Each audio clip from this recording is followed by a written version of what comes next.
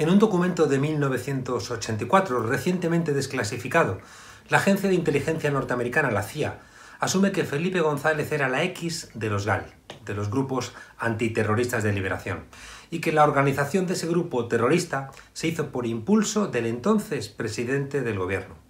Es algo que intentó investigar el juez Baltasar Garzón, al que finalmente derrotaron las fuerzas del Deep State español de ese estado profundo. Al final, a Felipe González lo único que le queda de Marx parece que es la X. En ese informe de la CIA titulado España, Terrorismo Vasco y Respuesta Gubernamental, se dice textualmente que Felipe González ha acordado la creación de un grupo de mercenarios para combatir fuera de la ley a terroristas. La CIA siempre pragmática entendía que aquello, claro, asustó a ETA, ya que se terminaba esa seguridad que sentían en Francia, pero al mismo tiempo, reconoce la CIA, dinamitaba la credibilidad democrática del gobierno de Felipe González.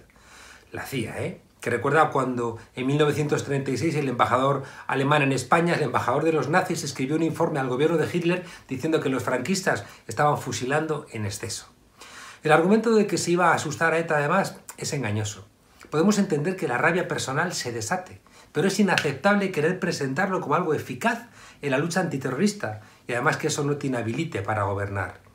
Los 30 atentados, los 27 asesinatos y los más de 60 heridos de los GAL no solamente acabaron con el Estado de Derecho en España, sino que le dieron razones a ETA, que no tenía, para continuar su lucha y captar a jóvenes que entendían, gracias a esos comportamientos, que estaban en una guerra con un país que seguía siendo franquista, porque los GAL y el gobierno se saltaban el Estado de Derecho.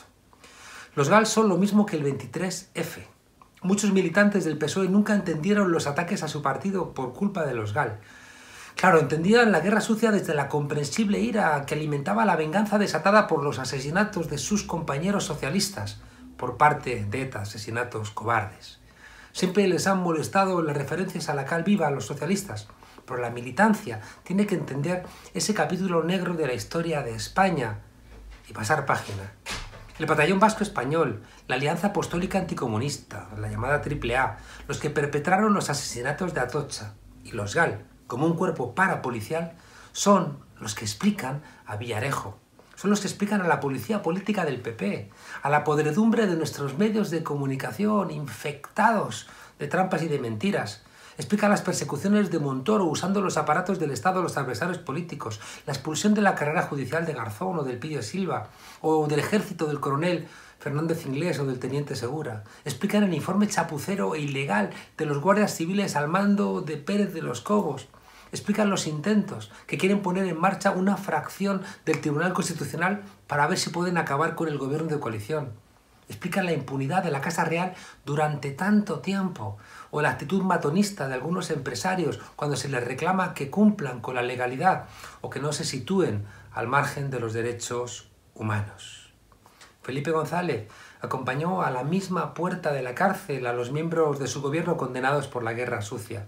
El ministro del Interior, José Barrio Nuevo, y el secretario de Estado de Seguridad, Rafael Vera, a los que se les pudo demostrar su participación Solamente se les pudo demostrar eso en el secuestro de Segundo Marey. Es verdad que aquella foto a la puerta del penal de Estremera con, con, Felipe González repartiendo abrazos a los convictos iba un poquito más allá de aquel sé fuerte que Mariano Rajoy envió por SMS a Luis Bárcenas cuando ya estaba en la cárcel.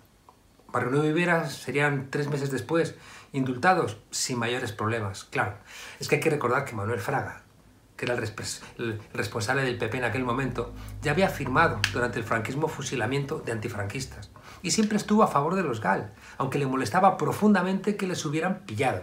Vamos, que no le molestaba que se asesinara extrajudicialmente a españoles, sino que se hiciera tan hispánicamente de manera chapucera. A la derecha española siempre les pareció impecable cómo los servicios aéreos especiales británicos ejecutaron a tres miembros del IRA en Gibraltar en 1988 y celebraban que nadie protestara.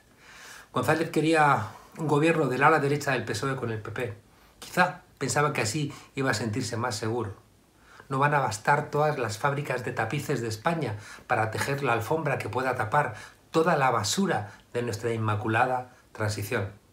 Y solo Solo cuando hagamos un relato veraz de lo que allí pasó, los vicios de la transición dejarán de ser los vicios de la democracia. Bienvenidas a la frontera desobedientes.